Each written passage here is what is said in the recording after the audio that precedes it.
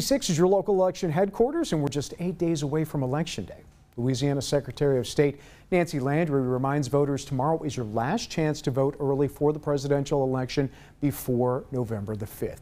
If you wish to cast your vote, remember to bring your picture ID with you and have a signature voter affidavit. Otherwise, polling locations are open from 8:30 in the morning until 6 p.m. The polls have been open for early voters in Texas and Arkansas for a week now, and election officials say there has been good voter turnout thus far. As of this morning, there have been more than 5,600 early ballots cast in Miller County. Meanwhile, over in Bowie County, more than 16,000 people have voted early. Officials say while this puts them on pace to meet or exceed the numbers from 2020, still only roughly about 25% of the registered voters in the county. The last day to early vote in Texas is this Friday. Meanwhile, in Arkansas, early voting is open until the day before the election.